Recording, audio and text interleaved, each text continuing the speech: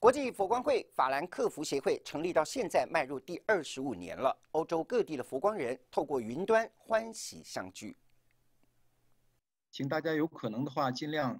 来自各地欧洲佛光人集结云端相聚，欢庆国际佛光会法兰克福协会成立二十五周年，携手法兰克福佛光山规划系列讲座拉开序幕，回顾人间佛教扎根多年，许多心路历程难以忘怀。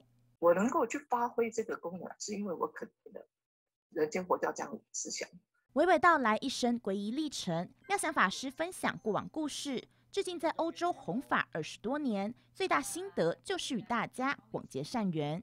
你要从佛经里面就说认识，就得到智慧，然后呃，从这个智慧里面，你怎么能够摆脱这些呃这些困难？从佛法中获取智慧，运用于生活。成员们分享各自心得，也期待未来持续传递法喜，圆满生活。